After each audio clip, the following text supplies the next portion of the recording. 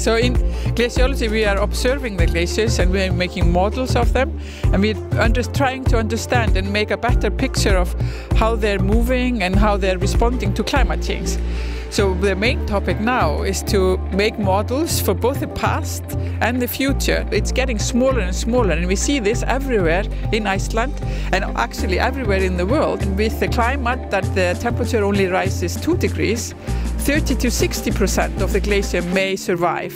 But if we don't follow the Paris Agreement and the temperature rises about 4 degrees until the end of the century, only very little of Vatnajökull will survive.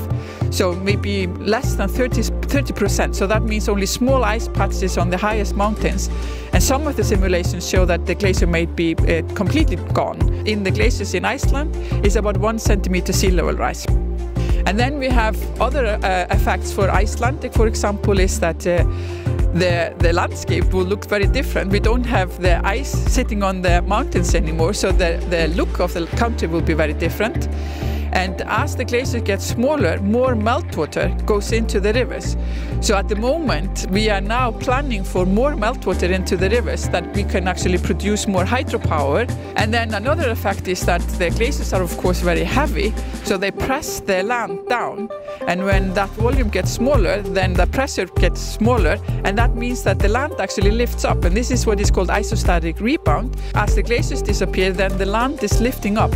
And we see this in a town on the southeast coast of Iceland, is that the rising of the land is more than two centimeters every year. So that changes the, the entrance into the harbor quite a bit. So they have to find a new harbor in this area because the land is rising so fast. So in Iceland, uh, many of the glaciers are covering volcanoes.